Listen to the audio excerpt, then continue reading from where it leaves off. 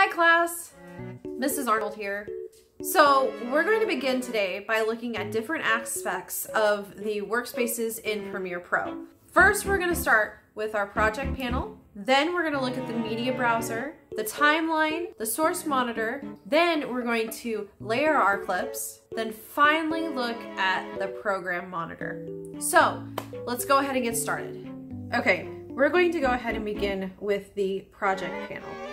Over here is my project panel. So it's going to be on the lower left corner of the screen. Now, whenever I decide I want to take something from there and put it into my timeline, I'm just going to click and hold and move it, just like so. I'm just to hold on to this, and I'm going to move it over here and put it there like so, and it's in my timeline. Now, I don't want it there, so I'm going to go ahead and get rid of it. Over here we have our media browser. It's where we can go through and grab clips off of our computer wherever we want to go. I have a lot of my clips here. I'm just going to scroll down all the way to video and just click some videos.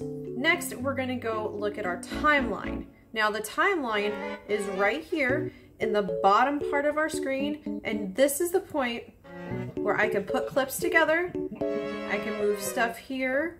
I can scrub through, just kind of get an idea of where I want to place clips that I'm editing. You can also hit the space bar. The space bar is really good just to let things go, let things run.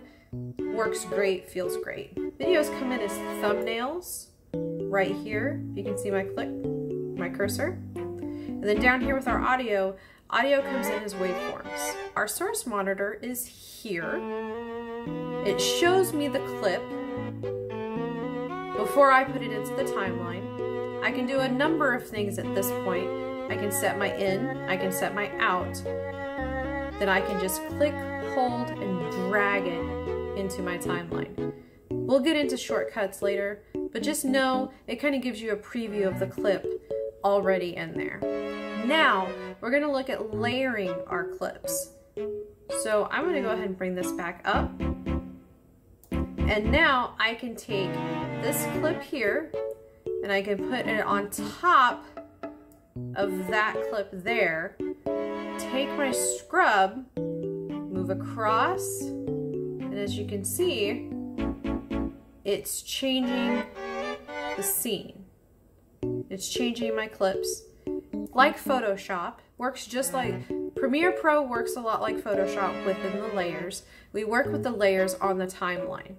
Now, finally, we have our program monitor. Now, the program monitor is the largest screen on the workspace here in Premiere Pro. It shows me everything that I have done, graphics, video, audio, throughout my entire timeline. If I want to put a title, I can put a title here, I can type it out, I can go hello. Okay, that's my graphic. I can place it here. I can hit the space bar and it'll play. Hello stays in the middle. Do I want to keep it there? No. But it shows me in the program monitor what I did. I hope that this has given you a brief insight into the workspaces of Premiere Pro. Now, we'll get in depth with the shortcuts and other graphics, video, and audio methods of Premiere Pro, but this is just a sample, a light taste, so that you can kind of sink your teeth into. So, thank you, good day.